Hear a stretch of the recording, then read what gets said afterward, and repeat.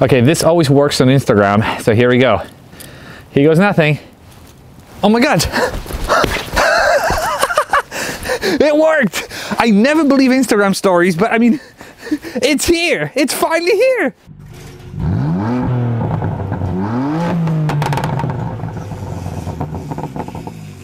Ladies and gentlemen, it's finally here. My recently acquired 2015 Porsche Cayman S with a manual transmission. After months and months of searching and months and months of speculation from a lot of you that I'll be getting a Porsche, I finally pulled the trigger. Now, before you jump to conclusion, no, I am not getting rid of my uh, F80 BMW M3. That one stays. This is becoming an addition to the fleet and I am super, super excited that I found this car and today I'm going to tell you all about it. I bought this vehicle from a dealer out in Ohio and after going back and forth a couple of times we agreed on the price and I purchased it and the car was shipped to me. Now, my actual vehicle delivery experience uh, was quite traumatizing and I want to play a little segment that I put together for you in case this ever happens to you.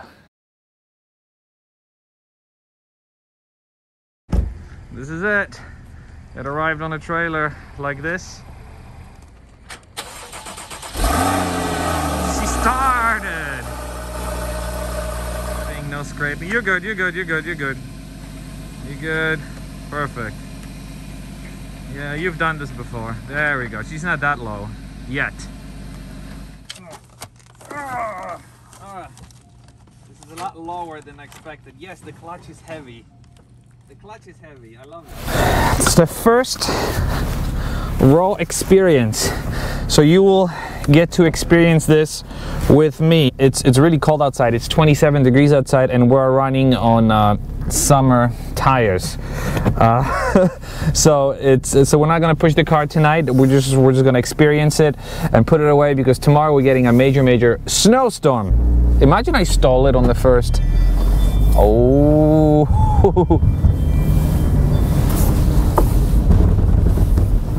wait, wait, wait, wait, wait.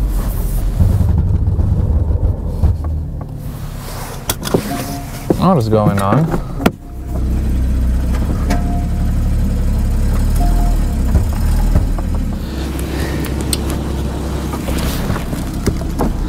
I don't know if it's the low pressure, but I feel some skipping. What is that? Huh.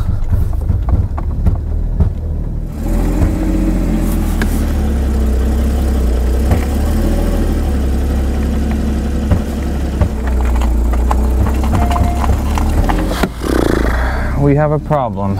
So I have no idea what's happening. When I turn the wheels, the car skips. I mean, I, I am gonna have to take the wheel off and, and see what's going on. what the heck could it be? I hope it's a wheel that's loose. Luckily, we're close to home. Let's see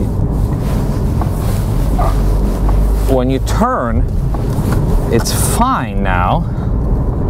It's weird. I mean, there's no there's no shaking or anything.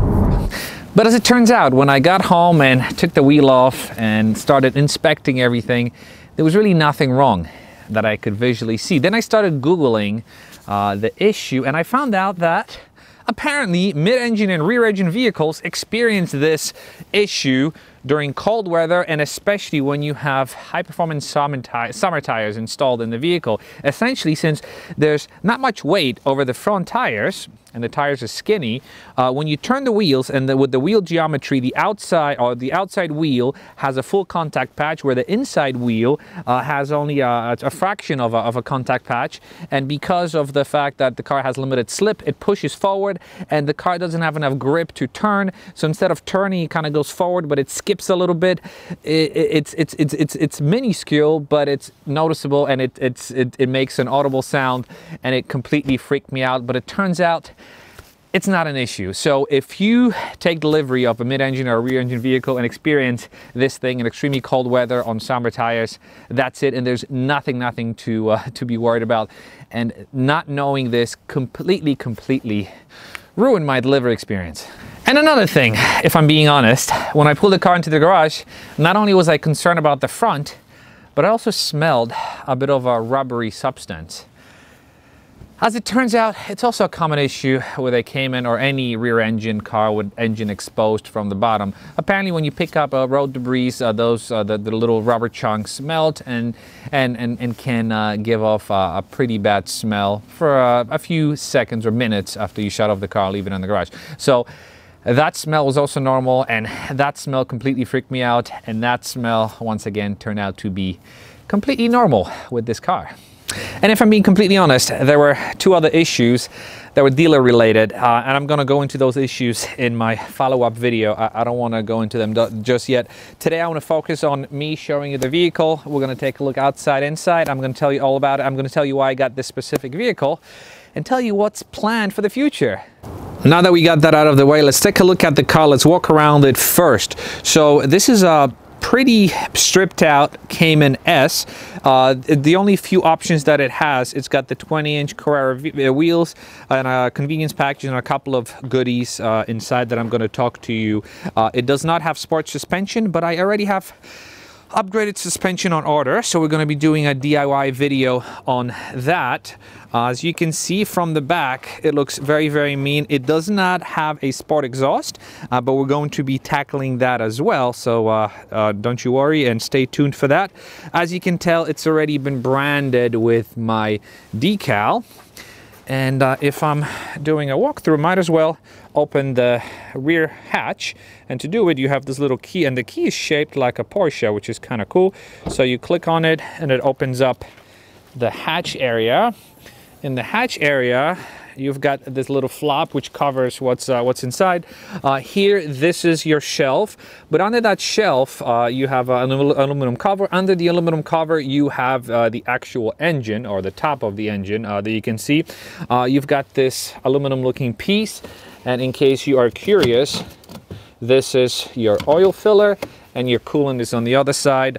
this is your trunk it's fairly deep, as you can tell. And uh, what's in this trunk? Well, look at that. Would it be intakes?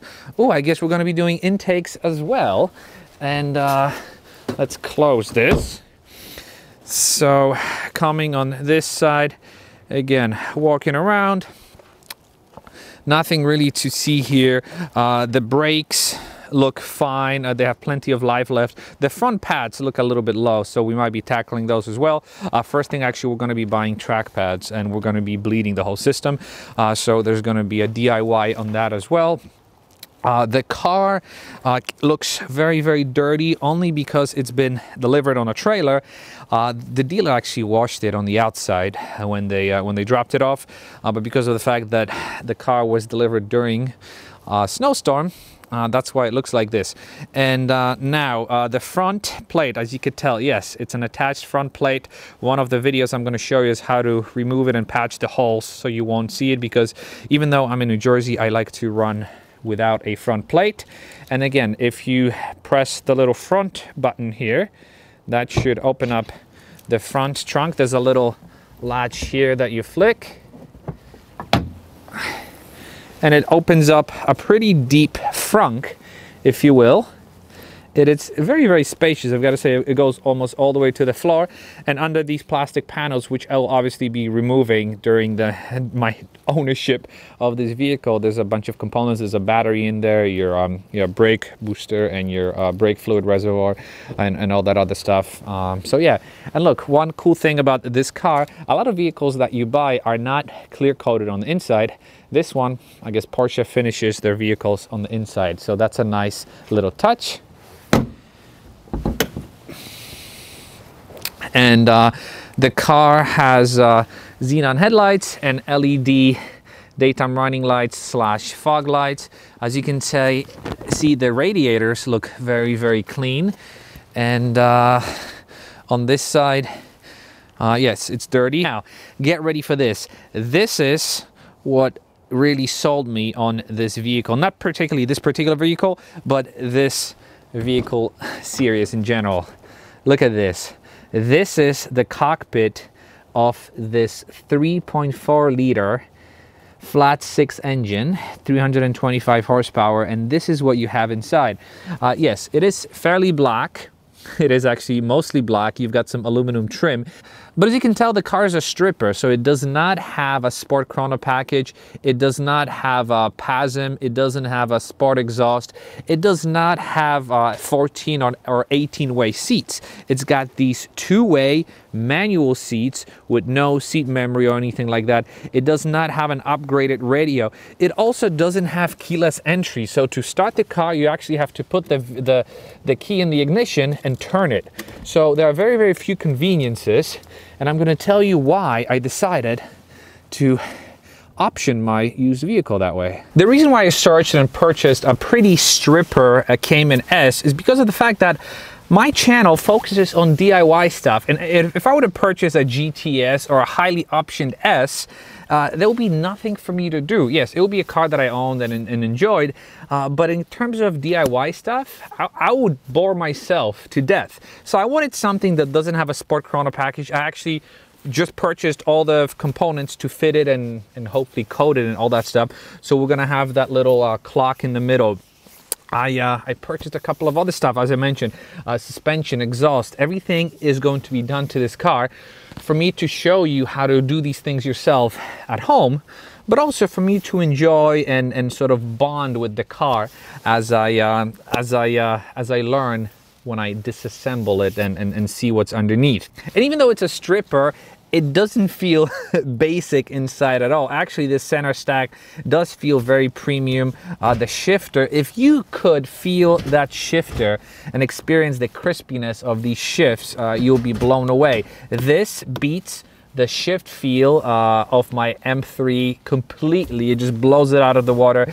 Uh, just, I mean, just this is such a such a mechanical feel, and I hope the microphone picks it up because uh, it's just uh, it's just uh, it's in a league uh, of its own and I'm super super happy the seating position is fantastic uh, the way I like to sit I don't like to sit sort of like this. I like to pull my steering as close to me as possible uh, so I can sort of assume a racing position. These seats even though they're base seats they, they're very comfortable. And uh, and I'm just super super happy that I that I got this car that I got this trim. And I'm super super happy to take you on my journey of me making this car my own. But I know, you know, we all want to hear the exhaust, so I'm leaving my mic here, and let's hear what she really sounds like.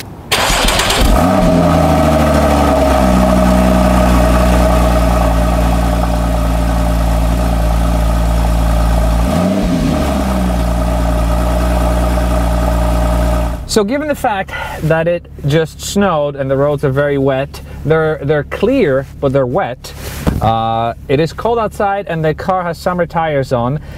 I probably should not be driving it, but at the same time, I feel like I will be doing you a major disservice if I uh, at least didn't take it for a test drive and, uh, and tell you a bit about my driving impression. So the, the car is almost uh, warmed up so I can so I can go. But before I go, I just want to tell you who I purchased the vehicle from. I actually uh, did some digging, and the previous owner was this elderly gentleman uh, who really didn't drive this car very, very hard. Uh, the car has only 24,000 miles, uh, but when I uh, got the uh, the rev range report from the dealer, it had zeros across the range. So it seems like the car has never been redlined or really, really pushed hard. Well, that's going to change, obviously, uh, but um, I was very pleased to uh, to, to have seen the uh, the the, uh, the report, and that was one of the one of the reasons, and to kind of prove that the dealer was telling the truth. In the trunk, I found a CD case full of Celine Dion uh, CDs. So it was a gentleman or a lady uh, who listened to uh, some very very nice music. But anyways, let's take it out for a quick spin. Again, I'm gonna take it very, very easy. The car is dirty, so uh, I'm not worried about getting it even more dirty, but I just want to uh, have you experienced this thing with me. Uh, but ever since I purchased the car, I only put on about 25 miles. I drove it the night that I got it and the morning before it snowed, and that's it. Uh, I have to get used to the parking brake. Uh, it doesn't have manual parking brake. Uh, that's one thing I'm gonna miss although like I said I still have my uh, M3 so M3 is not going anywhere and again I accelerated and there's very little grip. So I have to be super, super careful as I drive. So we're gonna take it very, very easy. But as you can tell, the car gives me a huge smile. Uh, it's not as fast as the M3, obviously. It uh, miss it's missing a lot of the technology innovations that the M3 has. But I've gotta say, I don't, I really don't miss it. Uh, right off the bat, I'm noticing that the seat heaters actually work a lot faster than in the uh, M3. And this car also has cooled seats. I put my foot on the gas and everything spins.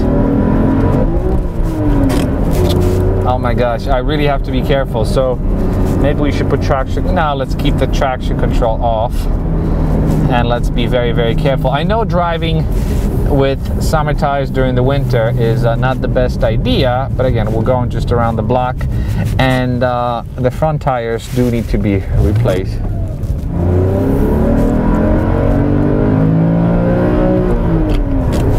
You hear that? Ah, revving this engine. Again, not as powerful as my M3, but it feels just super, super mechanical. It's a completely different driving experience. It's, it's hard to describe until you own one of these vehicles. Ooh, so much fun. I can't wait to take it out on the track.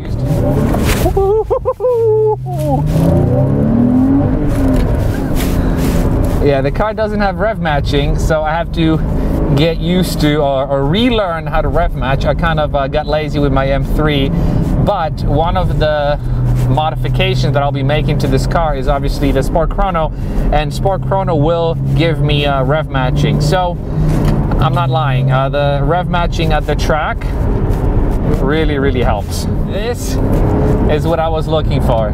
This mechanical feeling. You feel it I, I, again. I, I feel funny saying it because you know, you know, you hear it on TV, you hear it on YouTube, but in in this case, I, I do see it. You feel every input you feel connected to the car. This manual transmission is so good. It is so good. Yes, it's not as powerful as the M3.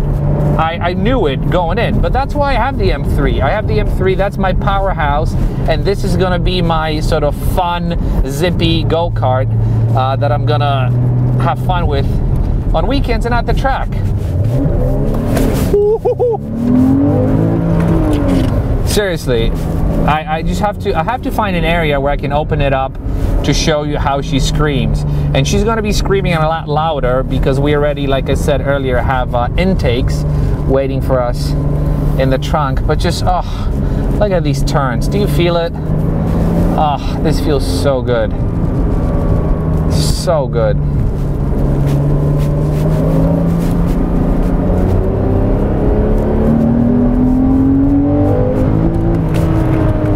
You heard that? Yep, that's a good sounding motor, that's for sure. I know we just met, but I love this thing. And on that note, I wanted to thank you very much for watching. This was a sort of a quick uh, unveil I'm gonna do a, a, first wash video and sort of major walk around. Uh, we're going to inspect the car, put it on the lift, see if there's anything wrong with it that I haven't noticed. But I just wanted to introduce you to the vehicle. This is gonna be the addition to the channel. This doesn't mean that the M3 is going away. This doesn't mean that I won't get to work on the M3. M3 uh, for the M3, I do have a lot planned, so stay tuned. Uh, and the M3 is not going is not going anywhere because I put in so much work into this car and I love it so much that I just cannot let it go. But anyways, if you like this video video, maybe give me a thumbs up, subscribe if you haven't. Uh, and as always, thank you very much for watching, and I will be seeing you in the next video. As you can tell, this guy is a happy man. Thanks for watching.